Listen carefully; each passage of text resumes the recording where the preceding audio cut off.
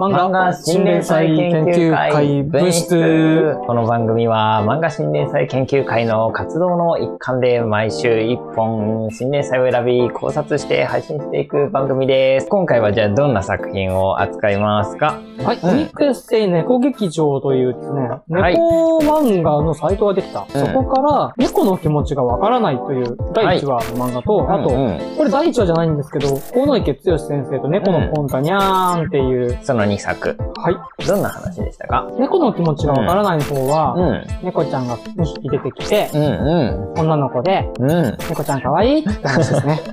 ほんとそうですね。うん。まあ日常あるある的な。はいはいはいはい猫の生態見てるとこんなことしてるよかわいいな、みたいなうん。そうでしたね。はい。大野池先生の方は、あなんか猫ってやっぱり人間じゃねえんだな。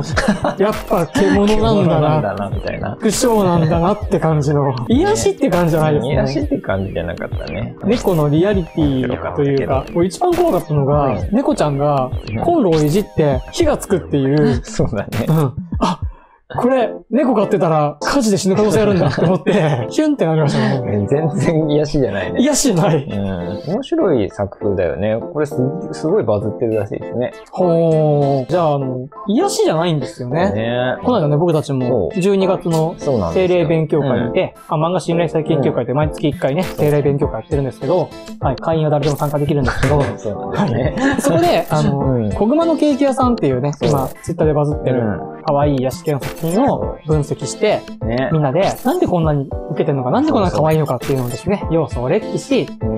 おのおのね、作ってみたところ、俺はそのメソッドで作ったやつは、5いいねしかされなかった。いやー、強かったね、小熊のねケーキ屋さんね。いろいろな面から、いろんな角度から分析したんだけど、分析すればするほどこの企画強いっていう。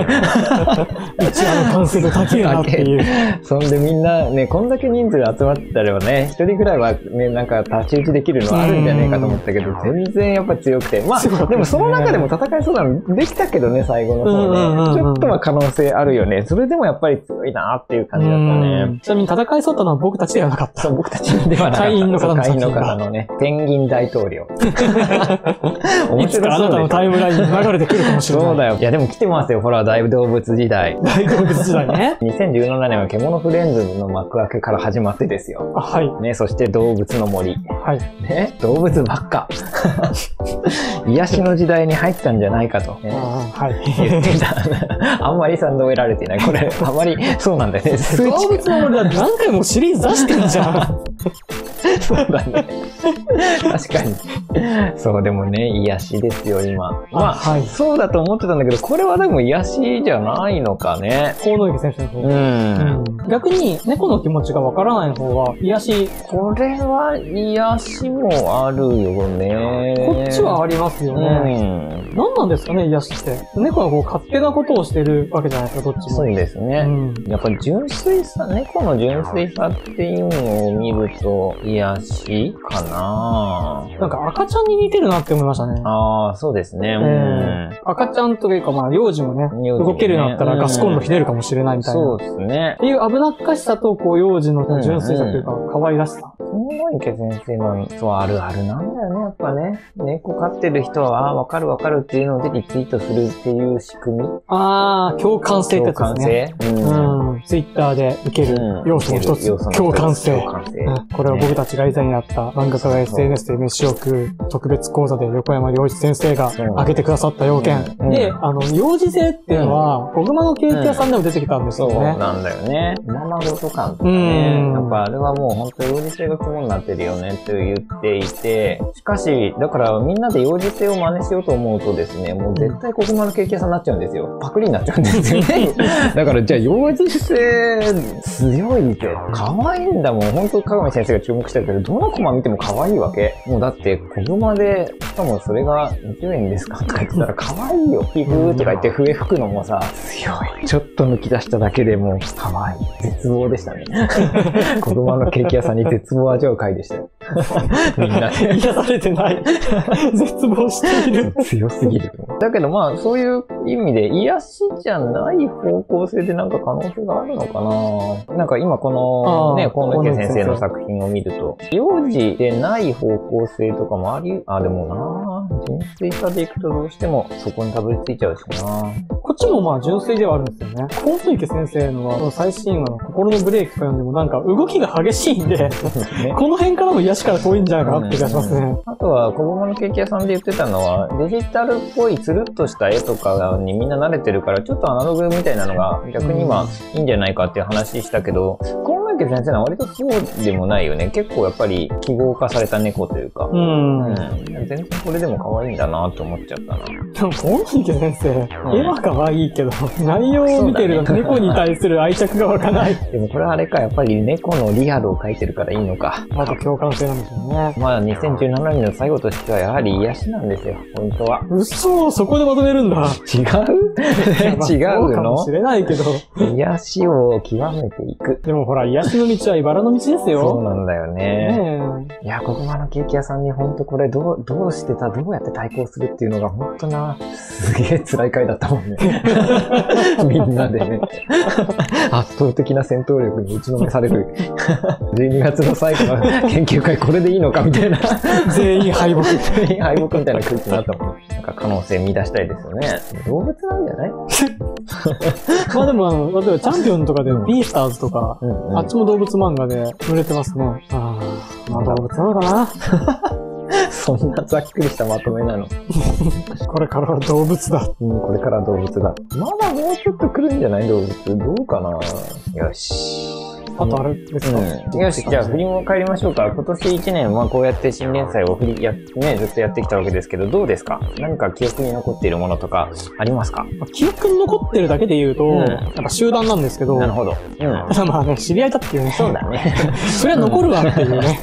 うん。まあそりゃそうだよね。まあ、あと1話の技術力はやっぱ本当にすごくて、うんうんうん。ビビりましたね。僕が記憶に残ってる、なんかね、結局記憶に残っちゃうのがね、それでいいのかと思っちゃうけど、やっぱり大御所の先生の、僕は漫画太郎先生の星の王子様と、え浦沢直樹先生の無印がやたら残ってて、無印すごかったな。だからな。ええー、と思って、なんか、でも新人の人の中で言うと、ランウェイで笑ってはやっぱり強力に覚えてますね。マガジンでしたっけ？マガジンのやつ、え、新人なんだと思って、ちょっと引いたもん。あとあれもそうだな、フルドライブもそうだな、新人というので、やっぱその2作すごい強いなって思いましたね。単純に楽しかったのは、金田一少年の事件簿ですね。ああ、面白かったですね。笑いましたね。めっちゃ笑いましたね、あれ。僕もつい最近また続きで2話目読みました。氷の橋渡るやつ。氷の橋渡るの、そ、そりゃ辛いよね。しかも、ケロッとした感じで金田一くんそれを再現したそうそうそうそうそうやつね。剣持警部がね、さらっと渡ったりね。面白かった。で何が範囲だったと思いますかとか、どうすればよかったと思いますか金田一を最初に殺せばいいんじゃないっていう。まあそういう作品なんかね、今年やっぱり多かったですね。過去の作品をちょっと裏から入れるみたいな。シティハンターの世界に入るとかさ。そうですねもあったし。まあ、うんファイナルファンタジーに入ったり。うん。うんでね、僕、あの、この前ちょっとね、あの、かぐみ先生と編集者の方とお会いしたことがあって、そこで印象的だったなと思ってるのは、ウェブ時代は漫画が辛いと。うんそれなんでかっていうと、過去の作品と戦わなくちゃいけないんだと。あ過去のあ。作品で手塚治虫とかが普通に読めてしまうんだと。色あせなくてデジタルで読めるわけでしょ手塚治虫と今戦わなくちゃいけないウェブサッカー辛いですよって言ってて、うん。マジか。確かにそうかもしれねうーん。え。そうだよね。確かにな。俺も横山見つけるとか電子で読んで、うん横山先生やっぱ面白いなとか言ってるもんな。やっぱ書店の人たちはね、別に売れればいいから、やっぱり出してきますよ、名作を。うんそこと戦わなくちゃいけない。まあそうなった時に、まあ我々は我々のできる戦い方をってなった時に、まあいろいろあるんでしょうね。過去の作品を利用しまうとか。そこに繋げたかったわけそうそう、ですね。そういうこと。まあでもなんか、そうは言ってもなんかね、そう、新人の人たちのすごい勢いのある作品とかも出てきているし、いいんじゃないでしょうか。いいんじゃないでしょうか。うん、こんな感じ？はい。まとめとしては。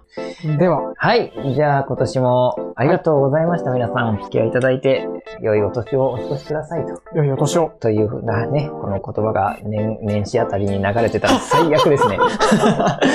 嘘、間違えた。今年もよろしくお願いしますみたいにしとく。にじゃあ2パターン取っていきま2しょうパ。ターン取っとこうか。今年もよろしくお願いいたします。というわけで2018年も始まりました。